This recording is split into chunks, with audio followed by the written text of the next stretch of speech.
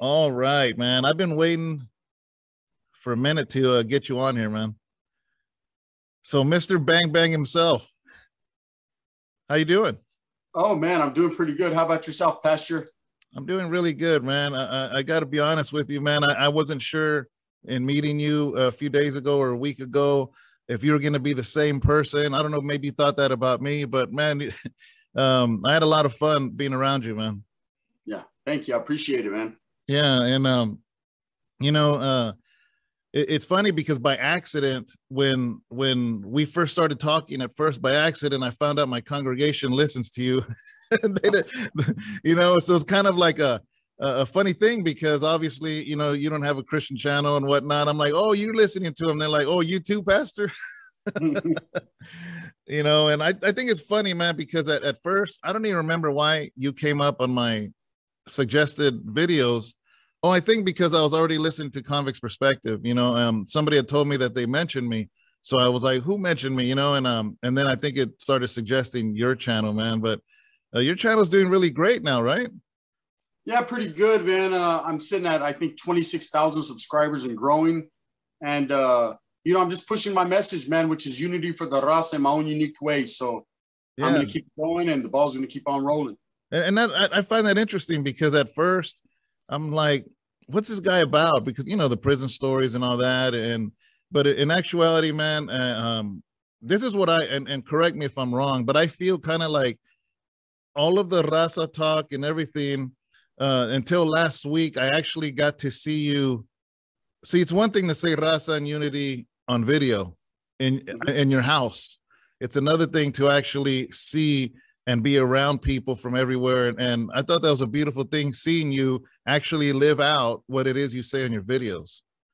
Yeah, absolutely. That was uh that was the punctuation mark to everything that I've been saying for months now. That right there was a, cum- a culmination of, of man, a lot of hard work and just being able to be around the the Southerners, you know, the, the raza yeah. from the South and really enjoy myself. Really, I mean, I didn't one time swivel my head. I didn't. I wasn't nervous. It was all love and embracement both ways. And man, it was a great feeling. Yeah, oh, and another thing, since that's one thing you say in Unity and Raza on your videos, but how did it feel you getting the reciprocation back?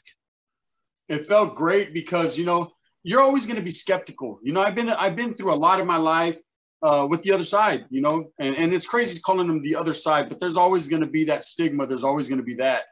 Um, guys from down south. So automatically instilled in me was some type of uh, uh, reserve. You know, I was reserved. How are they going to feel? I know how I feel. I know where I'm at in my life.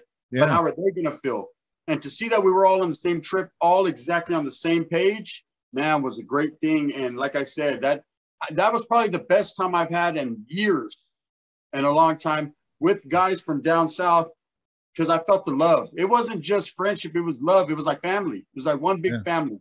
I agree. You know? I, I agree. I remember the first time I was really around um, a lot of people from from LA was when I went to Terminal Island, and it was about I want to say 200 actives. You know what I mean? Because it was in the feds, man. You get all kinds of everybody, you know, and um, but it's crazy because it wasn't like the way I was. It was instilled in me. Uh, you know, it was instilled in me to like. In, I grew up in Tracy, man, and we didn't have that issue a lot. There wasn't a lot of people from LA or down south moving into Tracy. Uh, so I grew up and, and basically being told you got to hate them, you got to hate them. That's what I told uh, Cholo Trucker. You know what I mean? And I'm like, and and I didn't even see anyone from LA till I was an adult already. Yeah. You know, and, and, that's a trip, man. And and going to Terminal Island and being around a lot of them, I started realizing the issues are the same, the the the same things we grew up eating. I mean, it's the same. Exactly. Exactly the same. Nothing different. Nothing at all. It's an imaginary line, man. Yeah. And, and another thing that ties you and I together um, is is unfortunately uh Pollo Loco who uh, yeah. had had passed away. Well, actually, he was murdered. Um, in uh, from what I heard in the alley in Merced, and um, we I had he he at one time was I considered one of my best friends, man. And uh, and and that's a, it's another thing that made me. And I told you this before watching your channel. Honestly, uh, you reminded me of him. he he was he was he liked joking, but he was serious when he had to be. Same as you, and uh, you almost gave me a glimpse of him. Now I've gotten to know you. You know, I mean, you for for who you stand for. But at first, uh, if in case people wonder, like, what was Pollo Loco like? Well, to watch you, bro, is watching yeah. Pollo. yeah, exactly. We I've known uh, I knew Mike. You know, Mikey. I knew Mike uh, since we're about three years old.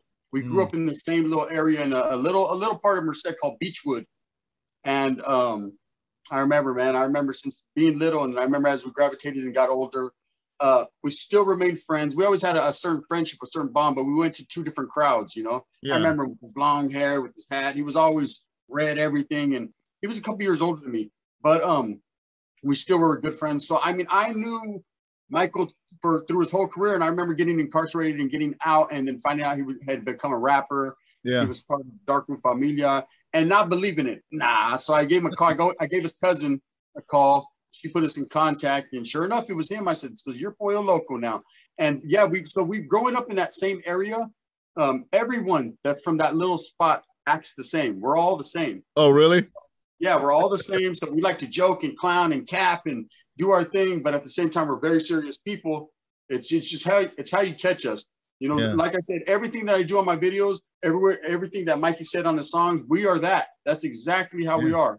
We don't sugarcoat nothing you already know you met me. This is exactly how I am. Yeah, and, and it's it's funny because I think sometimes people people don't people don't get when you're joking and when you're not. You know, yeah. and like I've had a couple, not like maybe two people be like, "Man, don't you feel? How do you feel some type of way when he when he copies your laugh?" I'm like, he's joking, he's messing around. You know what I mean? It's like, I get it, man. I get it. I laugh too. You know what I mean? It's it's joking and at the same time paying homage. Respect. Exactly. Exactly. So I, a lot of people don't see it. They think that I, you know, that I'm clowning on. No, absolutely not. I'm paying respect and homage because I mean, uh, you know, at that time, I mean, the music was everywhere, had a big impact on our lives. So it's just something that I took from the music, threw into my spills, and it, it has a whole bunch of different meanings to it. But at the end of the day, the meanings are positive. It's respect yeah. And, and, it's funny. You know, I, I turned it into a funny thing. Exactly. But, you know, like one of them, like even me and um me, ALG, um, a couple other friends, we are always quoting Blood In, Blood Out. And, and we'll crack up and we'll laugh. But if you ask us one of our favorite movies, we're gonna say Blood In, Blood Out. Absolutely. It's so, it's you're gonna clown on it, but at the same time, it's it's you wouldn't even be thinking about it if you didn't have some type of respect for it. Good point. That's a good point, man. You know, so um, I guess my main thing, you know, I wanted to bring you on this channel about is is I know the format of your channel. I know what you're doing. I, I like what you're doing. It's funny. Um, obviously, maybe I'm not going to agree with every single thing, but I mean, that's not what you're not there to make everybody happy. But you know, I like what you're doing, you know, and but here on this channel, I, I kind of was hoping to for the audience and the people watching to get a glimpse of um, who is Gunner. You know, I mean, who are you? Because here's the thing, man. All jokes aside, um, what happened, uh, you being 11, and all of that stuff that happened with your life, uh, being um, being locked up during the the years that you are forming into a young man, that had to have an effect on you. That that's probably why you joke because a lot of that stuff I'm sure came with pain. Yeah, there there's uh, a lot, a lot that I went through that not a lot of people could identify with or could even fathom. You know, the, it's 11 year old kid going through what I went through, and I know people are going to say, "Whoa, well, you did that," and I did. There's there's repercussions for every action. Yeah, but that started a long road of, of pain, turmoil uh, for everyone involved, everyone around me, the whole tight circle. I mean, anyone that I came into contact with, I had a lot of anger management problems, resentment, uh, mad because see, I as a young kid being incarcerated like that, I got distance from my parents, where everyone's their parents are still telling them, "Hey, get home, do this, do that." I was on my own. From that point on, from that moment that I got incarcerated, I was on my own all the way till I was 18 years old. And uh, that's the worst time to be alone as a kid because that's exactly. when you're still forming yourself as a man. So my only male figures to look at were other gang members that were older than me. To model myself after that and to achieve what they're achieving, which at the end was frivolous. And later on, I found out. And so I felt some type of way, man. I felt I felt a, a, a lack of trust in people. I felt, you know, the only one I could trust were just these few homeboys that I had around me. I felt uh, my parents, uh, you know, were gone, so I didn't. I was rebellious. I don't have to listen to anyone. If I'm not listening to them, then I'm not going to listen to any authority figures. And so I was just bad. I was yeah. bad from the core, you know, rotten did, from the core. Did you have your mom and your dad in your life?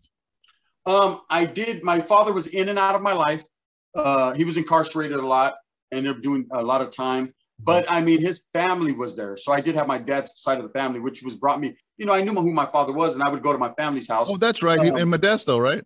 In Modesto, yeah. That's right. And his family lived in Merced, Winton, the Bay Area, everywhere. You know, my yeah. dad's family was all around, so I, I was very close with them.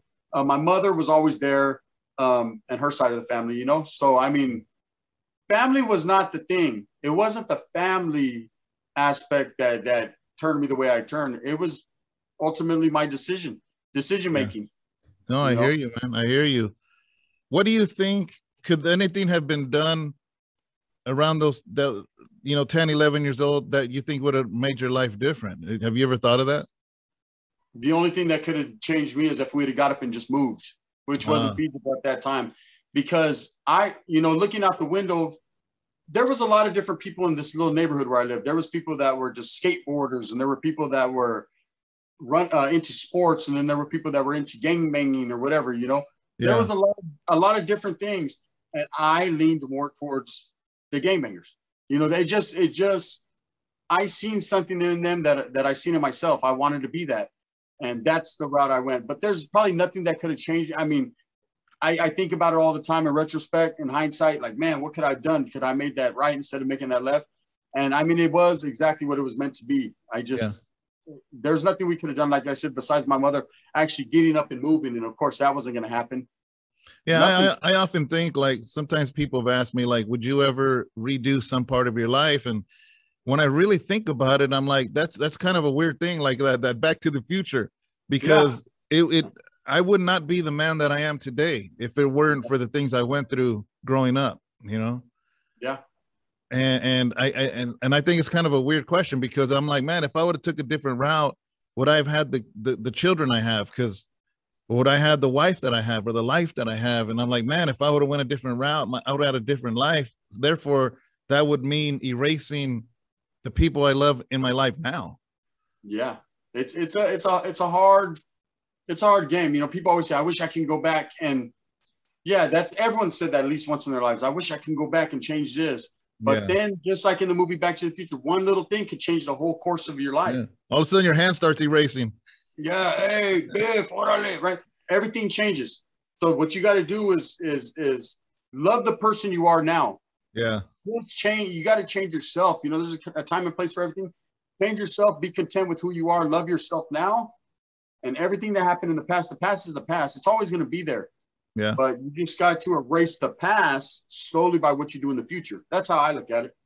That's good, man. That's some good stuff. Um, what else I want to talk about to you? There's um, there's a few things, man. My like my mind is like a Rolodex right now, it's just flipping because you know I, I don't want to take too much of your time. At the same time, I want to have a good video for people to really get to know who you are, man. I mean, um, YouTube. Mm-hmm. You said that you had no idea you would ever be doing this. Absolutely not. I uh five, six months ago, I was just like every other person that watches YouTube, laying on the couch, laying on my bed, uh, watching YouTube. Um, of course, my past, you know, you never forget your past. No matter what you try to do, you can never forget your past. So I'll always, any type I, anytime I see any type of northern or norteño or things like that, pop up. It's like it's like the phone automatically draws me there. You need to look at this, right?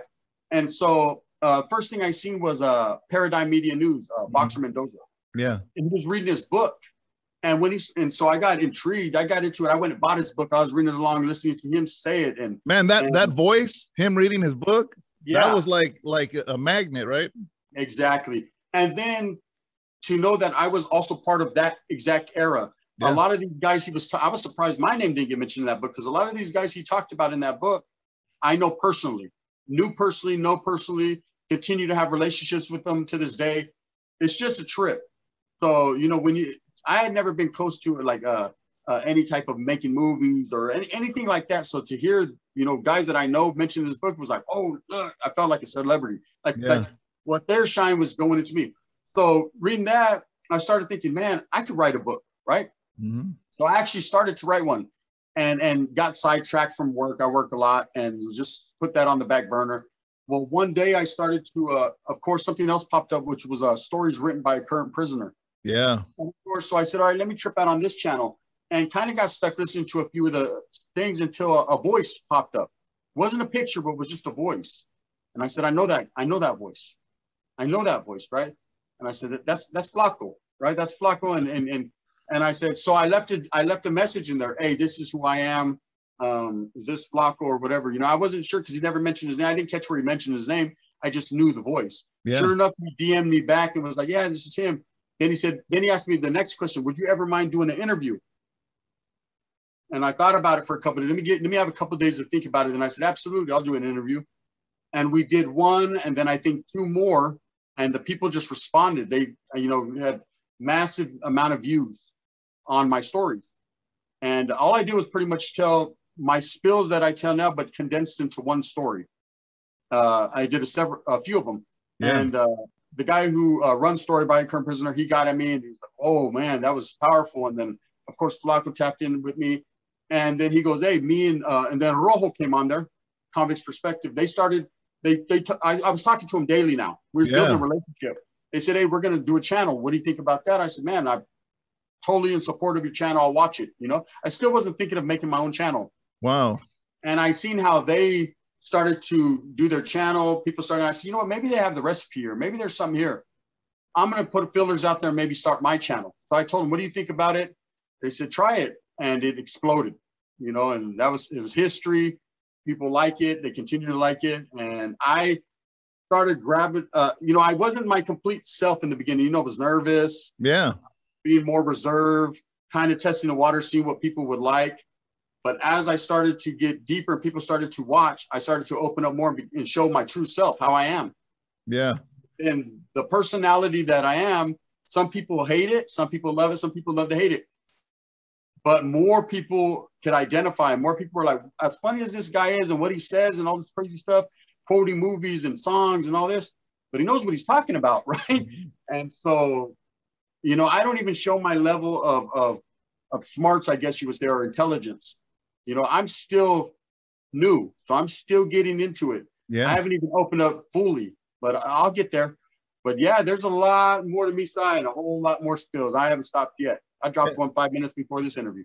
And I and I figured that, man, because it's like um being incarcerated, you know what I mean? I mean, I did one long prison sentence. I did six years out of an eight year sentence in federal prison, federal prison, 85%. Um, but even even during that time, um, you you either are going to just play dominoes the whole time or you're actually going to read and get educated. So when I meet somebody that's done a lot of time, I, I know I'm talking to an intelligent person. Jokes aside, all that aside, you know, um, especially um, the people you're around. It's it's almost um, they want you to be educated.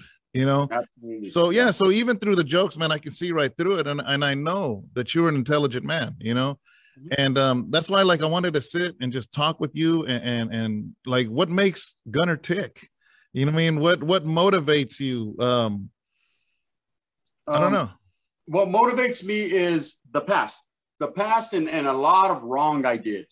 Just a lot of cutthroat shisty shady moves that i made. Moves that i knew were were, were bad at the time but didn't yeah. care. Uh, a lot of the propaganda and the poison i say that I that I spit into these kids' ears, these youngsters' ears to go one way when I knew I was leading them astray. And things like that, I found a channel now, an avenue to kind of alleviate some of that off my mind, you know? Yeah. Maybe maybe not necessarily, you know, these these young kids, these these people, they're gonna believe me or don't believe me. You know, take it for what it's worth, take it for a grain of salt. But and and you know, people always have that that cliche, I could just touch one person and it's worth it. No, I don't want to touch one. I want all to come. you know, yeah. and and the only and the only way I could see, you know, what it does is like I said, it helps me. It's therapy for me because of so many bad, so much bad things I do. I feel good at the end of a spill because I know although the spill might be crazy, I might be talking about a story about gang banging and, and whatever. I always have a positive message at the end. There's yeah. always a positive message. So I feel like I'm making a difference. I feel mm-hmm. like I'm I'm I'm part of the new healing process. You know, that's why I pushed the raza. I was one of the, I won't say the first, ah, I'll say one of the, the, the first biggest channels to start pushing unity and raza and really showing it, you know, going yeah. down there and showing it and uh, history in the making. So now people are starting to, a different type of level of people are starting to look and say, maybe this guy is really real about that. And, and I'll continue because man, if I if I'm able to somehow achieve and be a part of something like that, now that's real history. Now I feel like everything that I've done in the past, I kind of made up for that, you know, mm-hmm. where I was a, where I was poison, where I was uh, a divider. Oh, I was a, a divider for reals. You know, you stay over there, we'll stay over here, and let's never interact. Right now, I'm totally uh, uh, on the other side of the, you know, the wheel, and and man, I, I I just like the feeling. This is a better feeling, you know. Yeah, you know, um, I have a question then. Um, when you started your channel, and obviously, if you were feeling like uh, you're older now, you know, I mean, you have you have children. Um, did, uh, let's say the the the the light came on that there's it's more about unity. It's more, but I have a feeling that even doing your channel and you starting to see the response from people outside of Northern California, and then the love and embracement, did that even start to to make that grow within you even more which is why I, I find it interesting that you say doing the video can be therapeutic. Yeah, it's like a fire was lit. It's mm-hmm. like a fire was lit, and now it's like a big flame. Um, at first, I, I threw fillers out there. I always, I've, I've been feeling like this, you know, for several years. Yeah. Okay, let's see if, because I've never, deep down inside, when it was all said and done, it was always business and never personal. A little bit personal, but more business, meaning the, the gang aspect of it. This is what was instilled to us. This is what was taught, you know. Um, but being incarcerated as a youngster, and like I said, a lot of people that know my story, I went to Fred C. Nelles. I went to LA, Southeast yeah. LA. I was incarcerated there for a few years. And so I grew up, you got to understand, 11, 12, 13 with Sureños, with Southerners, Southern yeah. Hispanic. And so their style, their flavor, their talk, the way they speak, the way they carry themselves, a lot of that I gravitated towards. Mm. Even though I knew I was from Northern California, this is all I've seen. You got to understand.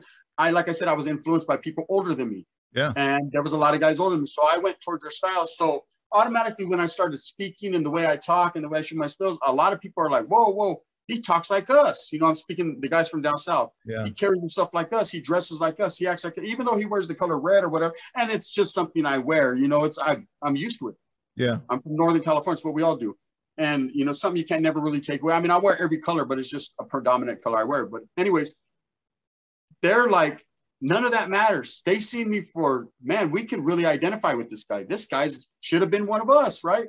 and so no, but the, the, the level and because I never disrespect them, I'm not a guy that gets down here and acts like they're less than.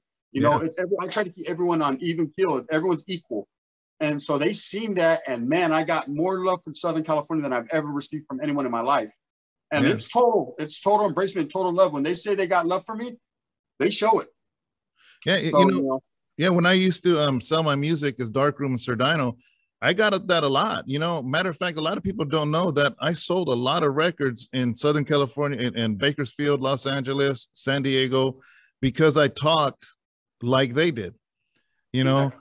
uh, I didn't I didn't use a lot of the words like the Bay Area slang that that's up here. Um, you never hear me say none of that stuff. You never hear me say the N word. You never hear me say I was going to talk and rap like a Chicano. And because of that, I think um, I was able to break down borders. And that's why we, Darkroom, did so well, not only in Northern California. We were not a local group, we were national group. But I think because any barrio you would go to from Florida to Texas to whatever, they understood that lingo. They liked that lingo, you know, and in LA too, same thing. Exactly, exactly. And that, and that, you lowdown being from you know predominantly from Merced, the yeah. lowdown group, and knowing these guys growing up around them, and that just that Chicano style being locked up as a youngster, I it was a culmination of, of everything. I liked it. That was what I personally chose to go with. And to this day, you know, I still rock Ben Davis's. I still I Chicano. I'm always pushing a raza, raza every yeah. day, every day. And Yeah. this is just what I like. And so, you know, more of the guys down south could identify with it because they've always been into the lowrider culture, the cultura, the, you know, that style. So when they see someone from up north doing it, it's opening their eyes. Well, they're not all like that because they got a, a, a, a lot of them guys down there got a, they're, you know, they think, oh, all Northerners use the N word, all Northerners use this. And even though I don't identify myself as a, a active Northern gang member, Yeah. no, I'm still a Chicano from up north, right? Yeah. So we're all thrown in the same pot regardless.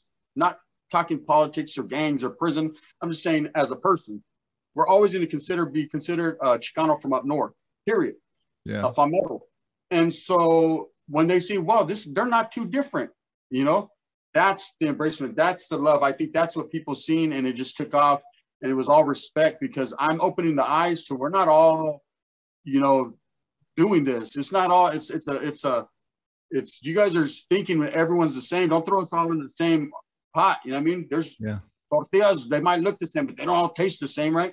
And uh, Yeah. yeah, and, and that's it. They just I, I I hear it on my Instagram, on my YouTube every single day, man. Hey, you should have been from down south. And I said, no, I'm from up north, but I'll go down south. Yeah. You know, there's no difference. Doesn't matter where you live. It just matters what type of person you are. Yeah. You know. You know, one of one of my best friends right now, probably one my best friend actually, he he was a Southsider. I met him in uh when I my last two years I made it to camp right here in Atwater. Uh they they have a federal uh, penitentiary and right next to it they have a camp. I was able to get closer to home. So my last two years I did there and uh, um, my my Christian brother, my brother, man, his name's Johnny Alcala. He's from down south and he became a Christian in Victorville. So by the time he went to camp and I went to camp, man, we became the best of friends. And it's a trip because, man, I don't even see it like that anymore. You know what I mean? There's so many people. Um, I don't, I just don't see it. You know, even uh, Paul from LA Times, and man, I, I don't see it, man. And and to me, that's something God had to do in my life. You know what I mean? Because I had so much hate instilled in me, hate that I didn't even know why it was even there. You know, but nevertheless, man, um, I, I love, I love what it is that that you're doing when it comes to that, and, and um, just props to you. You know, appreciate props to you because somebody had to break those walls, man. Because you say it in such a way that it it, it brings walls down. You know, that's mm-hmm. why that's why I'm talking to you. That's why you know because people are like, "What is a pastor? Is, is he trying to go back to his old life? Is he trying to?" You know, no, it has nothing to do with that. It has everything to do with I like what you're doing and the way you're doing it. That I don't know. It's a certain way that you do it, man. That you bring walls down, and it's it's genius. Whether you are doing it strategically or it just happens, you know. I just give you props for that. Yeah. Thank you. I appreciate it, man. Yeah. Everything. And, and I'm going to be honest with you. Uh, a, a lot of it is strategy, but uh, uh, there is some that just happens. And I'm like, wow, I can't believe that happened, you know?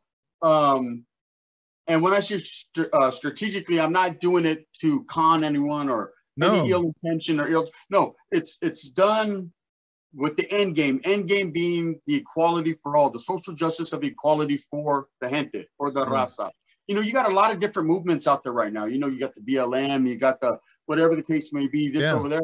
But there's never since the 60s and 70s, when of course we had Chicanismo and, and that was happening uh, with uh, Corky. Um, we haven't had nobody to really unite the people.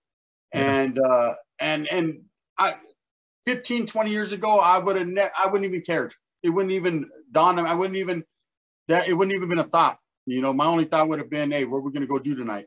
But as I'm getting older, I need, I'm the type of person, I'm very hyper, I'm very energetic. I need something to put my all into, my time, my effort, my money, everything I have. I have to put it into one pot and see how that bubbles, right? And this is it. This is the calling. This is my calling. This is, I know this is it because people have told me I'm impacting so much people daily.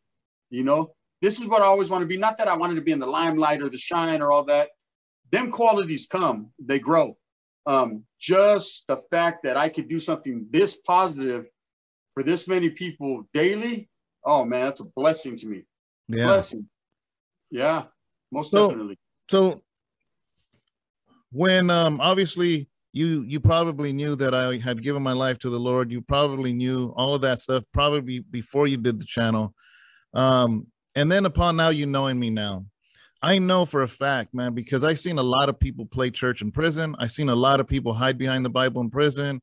I've seen yeah. a lot of a lot of that. I'm sure that that has um filtered the way you see when somebody like when you heard that I was a pastor. I'm just like I'm just being honest because I, I want to know. I'm curious. What was your view at that time when you heard that I was doing that compared to today?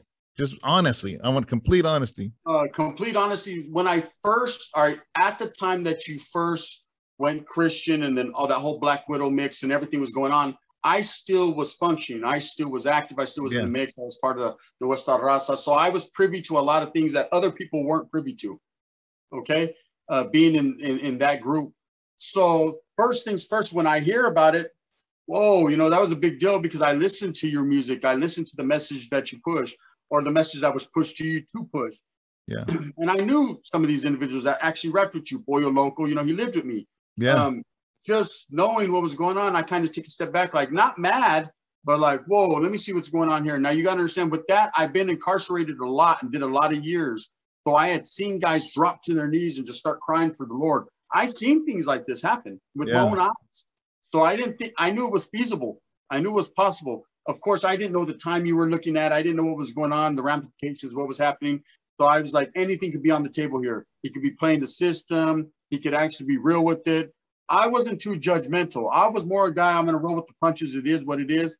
But then because of listening to your music and, and being like a, an idol to me, listening to your music, I was like, I'm to have to do some proper investigation on this guy one time, right? yeah. Not that it would have made a difference, but still. And I was able to talk to individuals that were way up there. We've discussed it and be told, like, no, he's real. This is really what he's about. And he's good. And I said, what do you mean good, right? Because I always been under the assumption once you uh, turn yourself to the Lord or you stray away from the, the, the, the propaganda or what's being pushed, then you were you were a level of, of not embraced anymore. You were no good. But that yeah. wasn't the case. That wasn't the case. I was told by as high as you can get, um, he's actually better than a lot of these guys you roll with. This guy's good. He's real. He's doing his thing, and he's to be left alone and just do his thing. And I said, "Wow. Well, I guess that's what it is." And not a lot of people were privy to that because yeah. we don't. We didn't go telling everyone, "Okay, you just do this, do that." This was for a select few of us that knew, and, and that's what it was. And I only got told just based on that I'm from Merced County, yeah. and Merced County went, you know, coincided with Stanislaus, San Joaquin. So we were all kind of the same boat.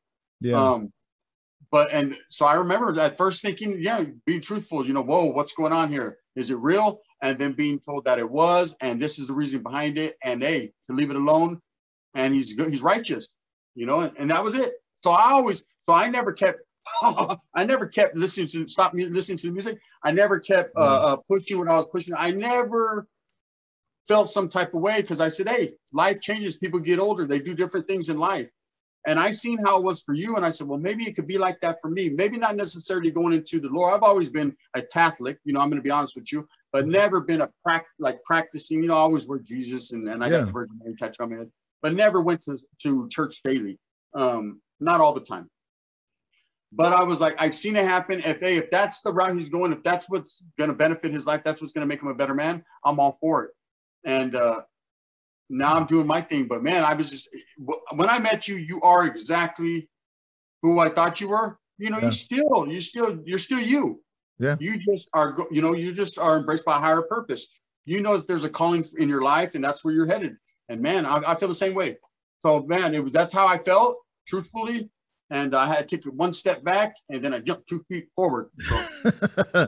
yeah, and I, I, think you, you, you, man, you, um, Rojo, um, Flaco, um, these guys have actually helped a lot of people um, actually feel like they're not so weird if they come check out my sermons or check out my Bible study. So, man, I thank you for that because here's the thing, man. The Bible says that God will use anybody He chooses that he will change the hearts of kings any which way he pleases you know and um and i think man that whether you are a christian or not i, I know you believe in god. You ha- you're wearing a cross.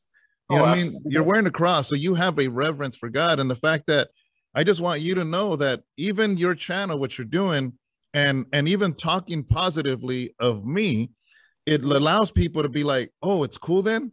It's cool that I listen in. It's cool that you know what I mean, and I'm getting uh, a lot of that myself, man. So, but unfortunately, a lot of Northerners didn't feel the same as you. You know, I did get hit with a lot, lot of negativity, not so much in the prison, but when I got out.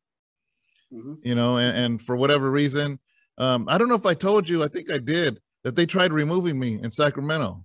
Yeah, you told me. yeah, and um, I, like I said, man, I I never, I was never anything more than a regular Northerner. Yeah. Uh, and um, you know, I think a lot of people thought differently because of Operation Black Widow, because of whatever. I mean, was I a gang member? Yes. Was I? I was probably more of a drug dealer. I think I was a gang member more when I was in my teens, but as an adult man, I was probably more a dope dealer than anything else, you know. Um, but you know, um, in Sacramento County, I was told I was spreading poison.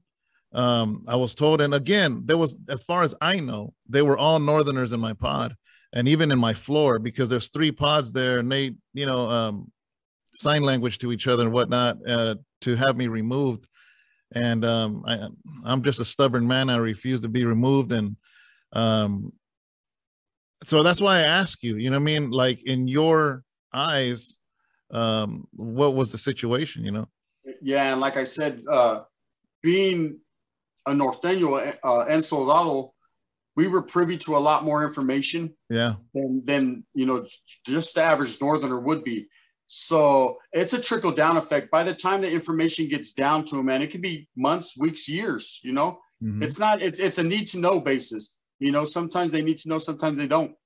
And yeah. uh when it came to your situation everyone knew that you were incarcerated and they figured out of sight out of mind. Okay he's going to go do his time he's doing his christian thing. It is what it is. He didn't tell on no one so there's no reason behind any any bad thing to befall them, you know. And I think that these guys just know the notoriety of you know you, you everyone knew who you were. Yeah. And them hearing rumors, oh, he's Christian now.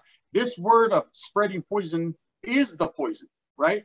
Um, this is a word that I helped to instill into these youngsters. A lot of people around me helped to instill. Uh, it was a propaganda word. It was a word used for propaganda oh, these guys are spreading poison. Oh, other guys spreading poison. Basically, uh, trying to steer you away from our cause, right? Which yeah. at the end, our cause was to utilize you. Um, so, hey, you didn't make them guys sit at that table and listen to you. If they chose to sit at that table and listen to you, you were just speaking the, the word. You know, yeah. you're speaking the true yeah. word, the one true word. If you weren't poisoning them, if, if not, you were giving them the truth, right? Mm-hmm. So for these, they if they're going to be mad at anyone, they got to be mad at these guys for sitting down obviously you had been there before a lot of these guys got there doing your thing and yeah. hadn't went anywhere yet. So someone got there that just felt some type of way and felt that maybe it would be to move on you or to have you moved on would make them look better. But little do they know that at the same time that that move right there could have hindered their career because there was guys in high places that had already told you personally or had already told me or told people around that you were to be left alone to do your yeah. own thing. Well, the interesting, I now never know who it was. Uh, and I don't mean to keep this thing going. I don't want to say this yeah. is that I remember when they tried removing me, I, I refused.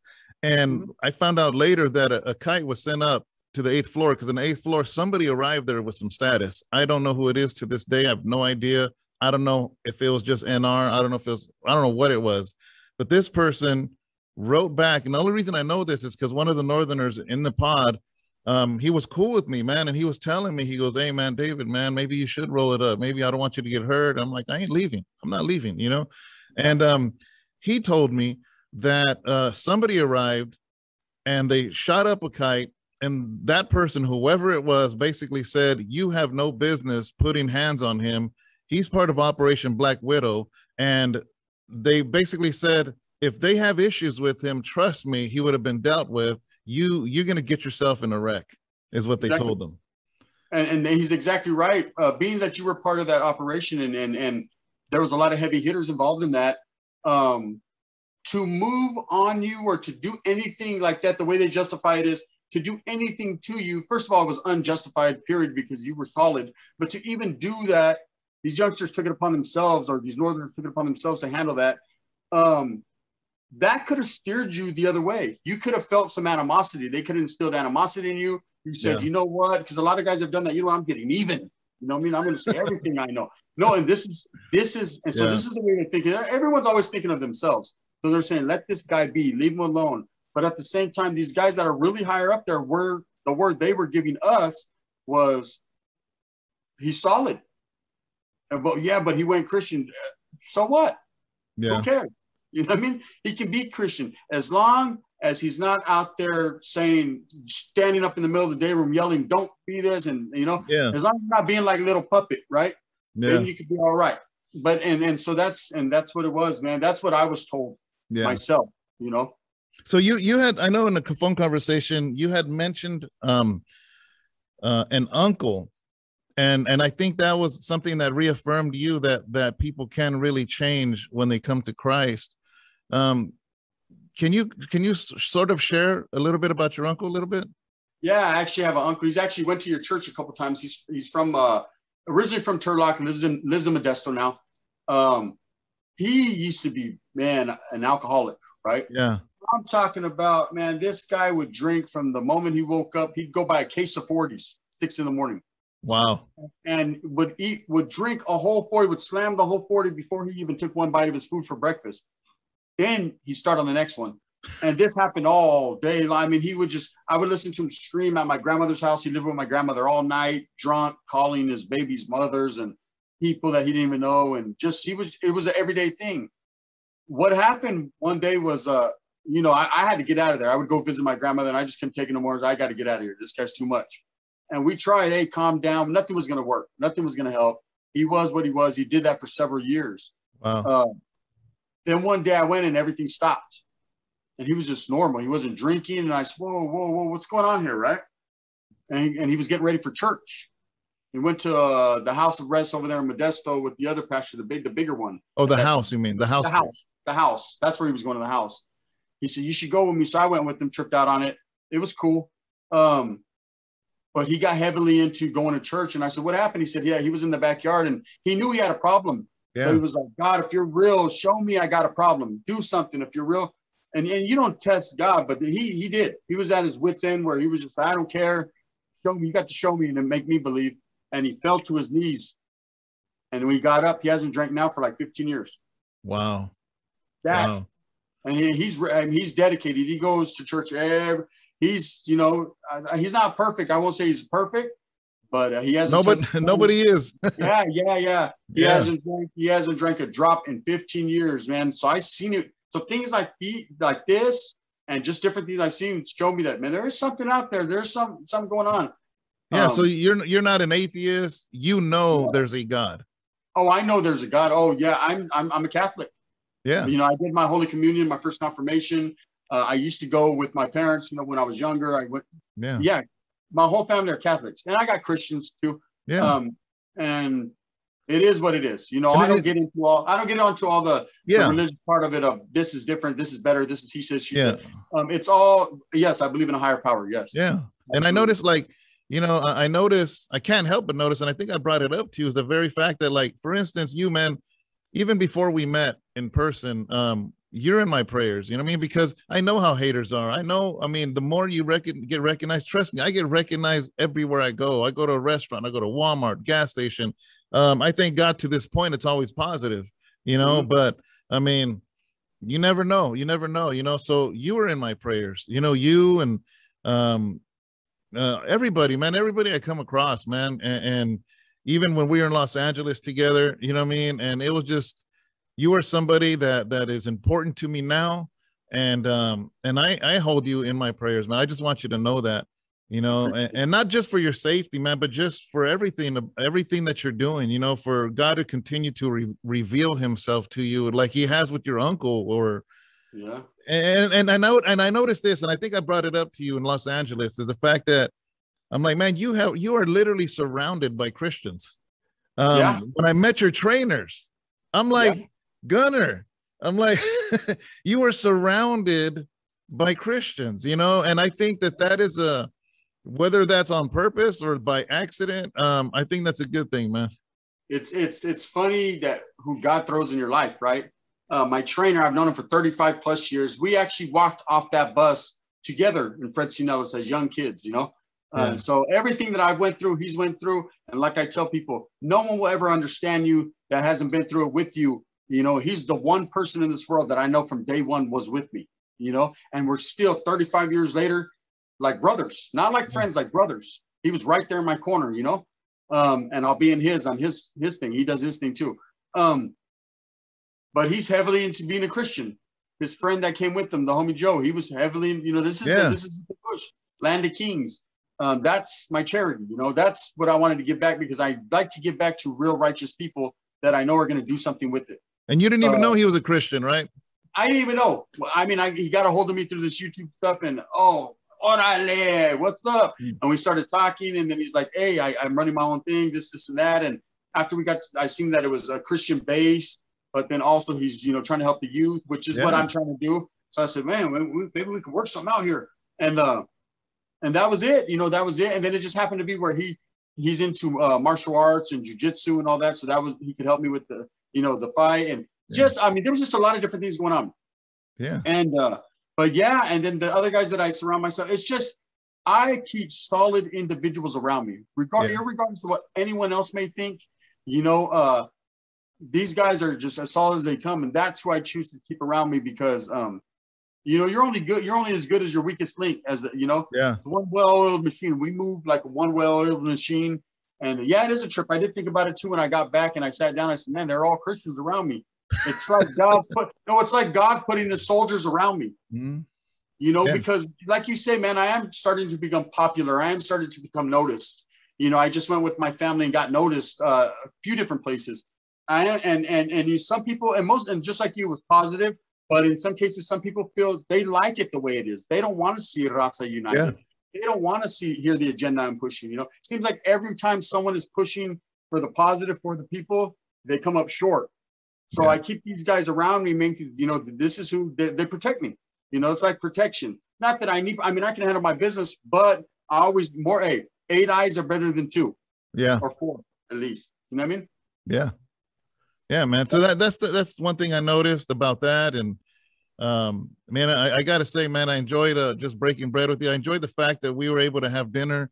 And um, that was a, a real, I had a really, really good time. You know what I mean? Just kind of just talking and joking and laughing and, and breaking bread. Breaking bread has always, um, it causes, a, it causes a bond. You know what I mean? That's why, you know, when you, when you just go and, and, and, and just eat somewhere, I don't know. It's like eating brings our defenses down and we get Yeah. to know each other, you know, We had And, a uh, great time.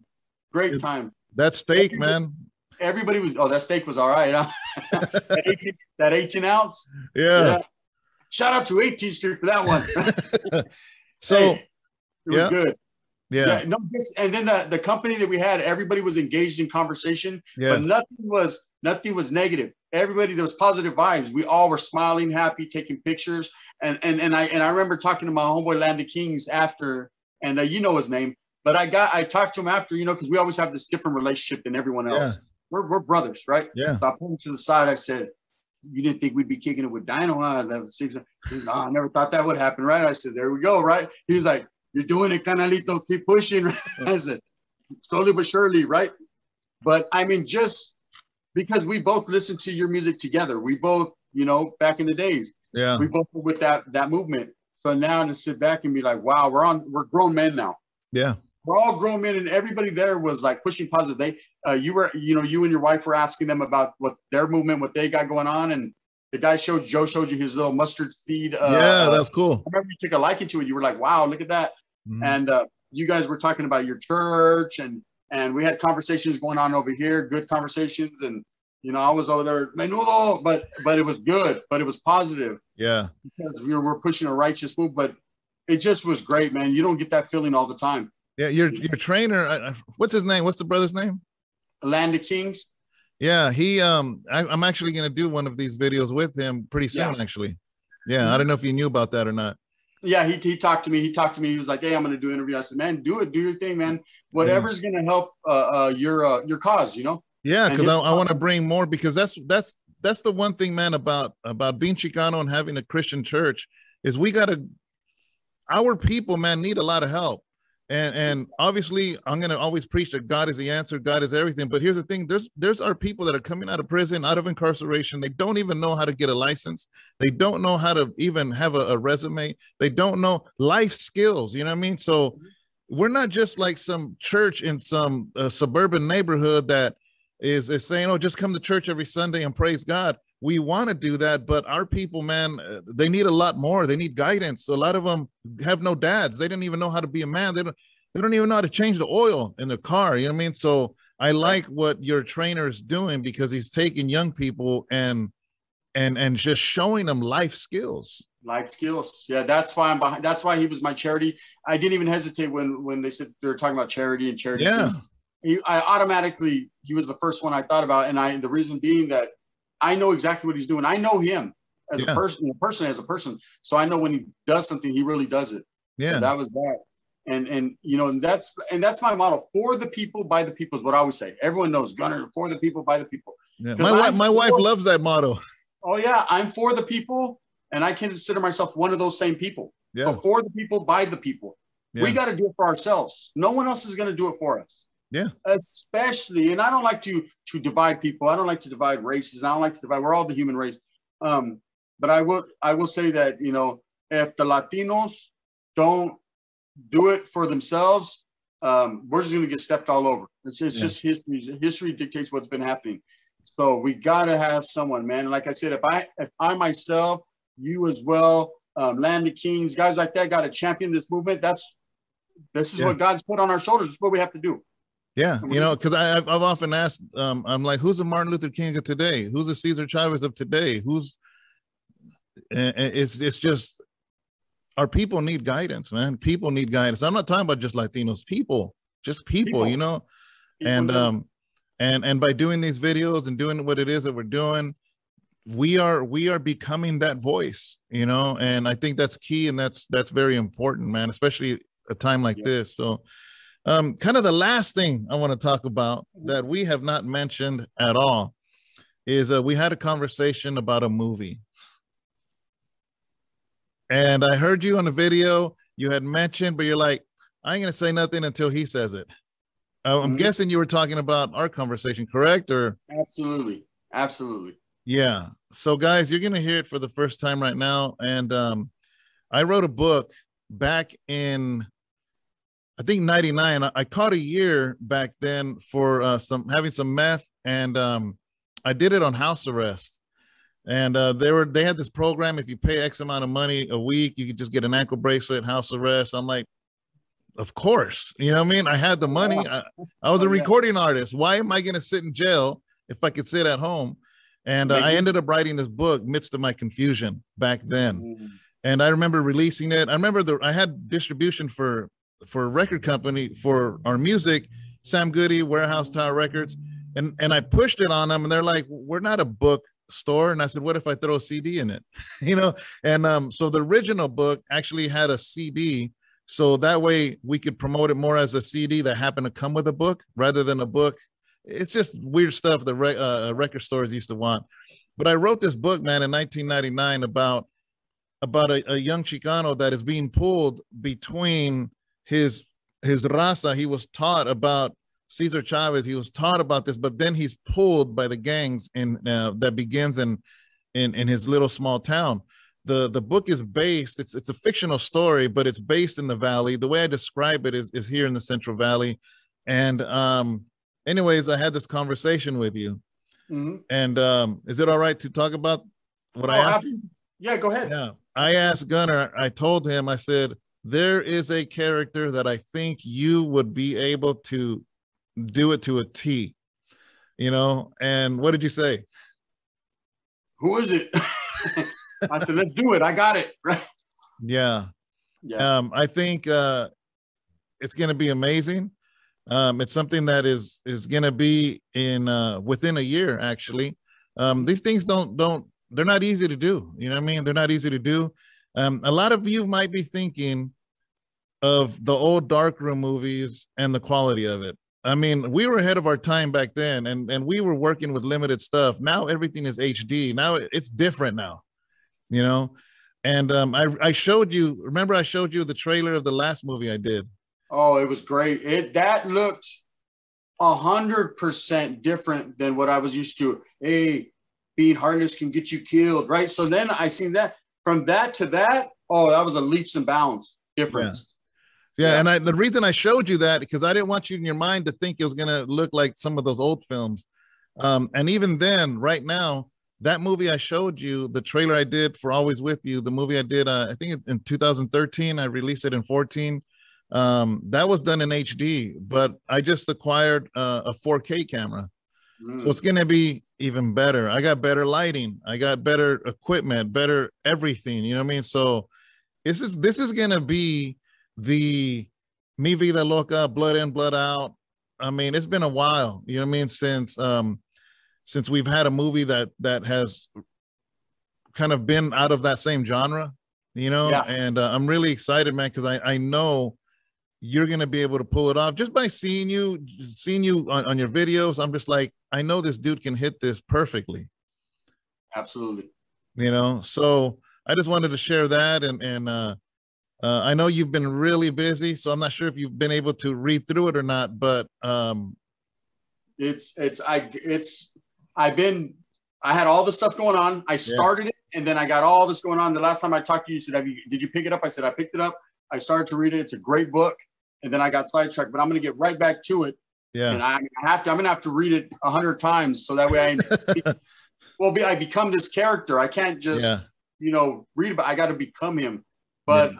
oh, I know I could do it. That's not a problem. And can I give it some authenticity? Absolutely, because I've lived the life that this guy supposedly lived. You know. Yeah.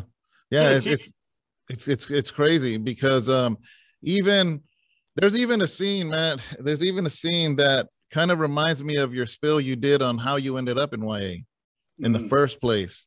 And yeah. um it's it's very, very similar. And I'm just like, that's crazy, you know. Yeah. And um the more I thought about it, so I, am right now in the, in the stages of making it into a script because obviously you can't take a 200 page book and throw it into 90 minutes for a 90 minute feature film. Yeah. So it, it's it's about using artistic license to shape it into a script, you know. Um, but yeah, man, I'm really excited that that you're on board. I'm gonna have Jose Rosete on it also. He was in a lot of the Darkroom movies back in the day. Um, he's gonna play uh, a character for sure. If anybody's out there, if you're an actor or an actress, I'm still looking to fill a lot of the slots. Um, even if you're beginning or you're taking acting classes or something like that. Um, I'm not looking for just anybody who wants to be in a movie because that's to be anybody. This has got to be it's going to be done very professionally and and i need to find actors and actresses that not only fit the character but can actually play it off you know? Yeah. So um anyways man um anything else that we didn't touch upon that you want to share? Um that's pretty much it man. Got a lot of a lot of stuff up and coming. I wanted to ask you too uh we got well i'll ask you off camera. We got a lot of things up and coming and i'll ask you personally that yeah. way we don't just put it out there to people. We'll announce it later on. I'll let you announce it some other time. But yeah, we'll definitely talk. I got a lot of things going on. Yeah, that's awesome.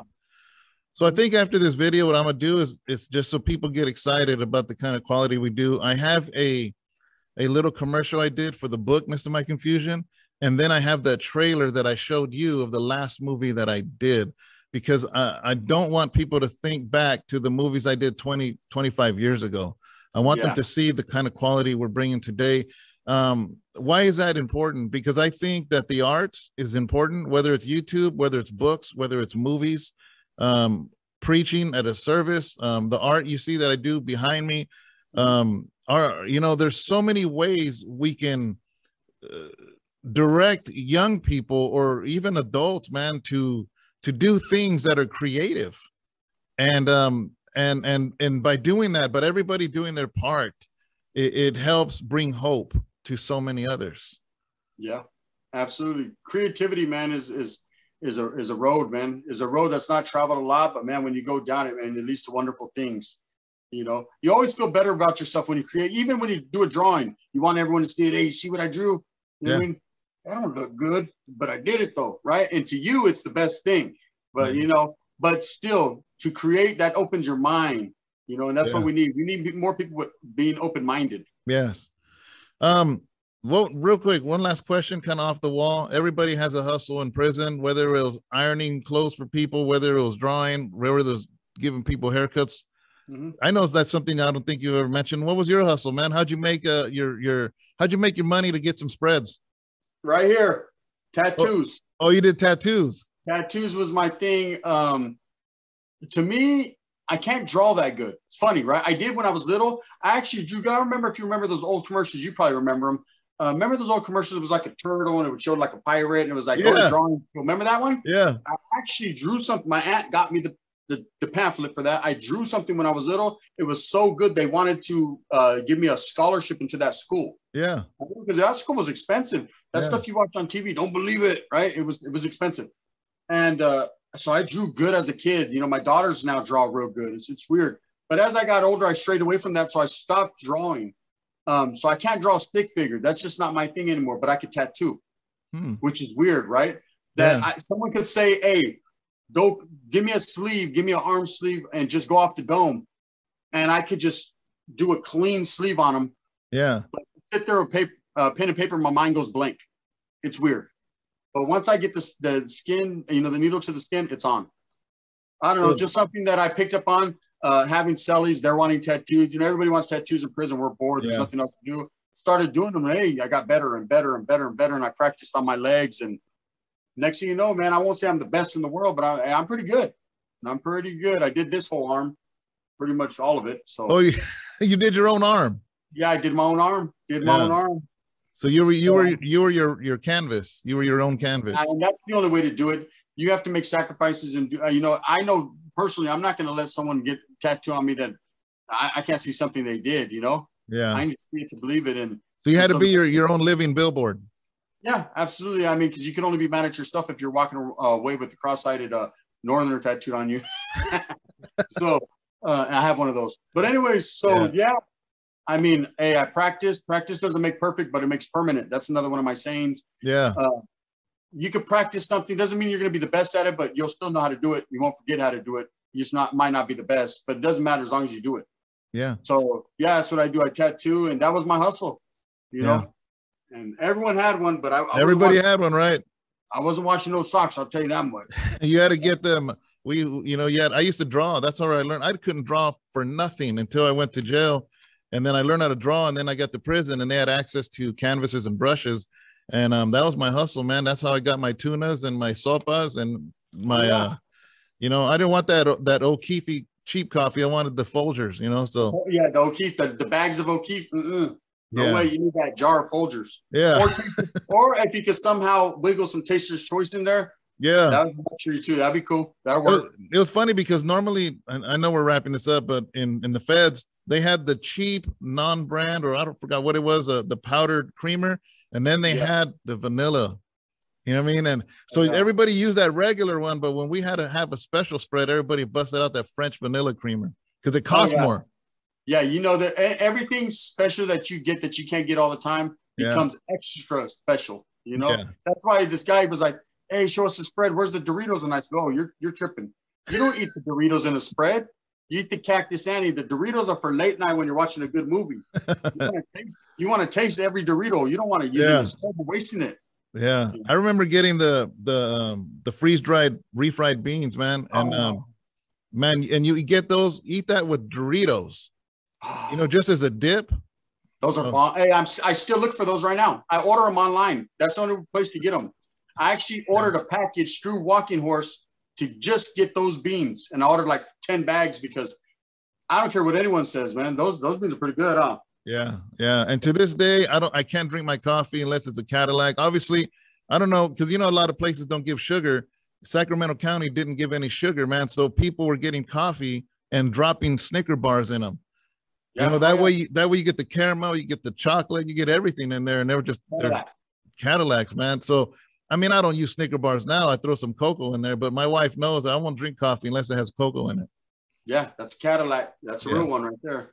So yeah, man, uh, I'm gonna go ahead and stop the video. I just want to thank you, man. I appreciate you. Appreciate everything you're doing. You're in our prayers, man. That that every that God continues to surround you. You know that God continues to watch over you. That His angels watch over you, man, and just protect you and and um, and give you good discernment and wisdom. You know to make the choices because sometimes when you make these videos, man, we we we we could say things and later on we want to retract it you know what i mean so i just pray that god give you wisdom and and in your words and and that it all your everything that you do brings around brings unity and brings people closer together man Absolutely, man. I appreciate you, and then I'm just gonna uh, keep fighting the good fight, continue to do what I do, and and I know at the end, man, something positive is going to come out of this. Whether I, even if I have to make certain sacrifices, I don't want to make, man, uh, with myself, I'm willing to do that for the people, for the people, by the people. I got to live by my model. Yeah. So how do people find you? Last thing. Um, Gunnerz Collective on YouTube, uh, Gunnerz Collective on Instagram. Those are my two platforms. You can find me. Um, sky's the limit, man. You never know what you're going to see that day. I talk about a variety of things. Uh, it's all Raza based.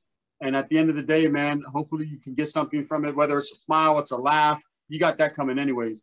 Um, hopefully I can instill some type of positivity because that's where that's the end goal in this. No yeah. matter what I say and how I do it, my delivery, as crazy as it, as it is, really open your ears and listen because there's yeah. a message in between all that.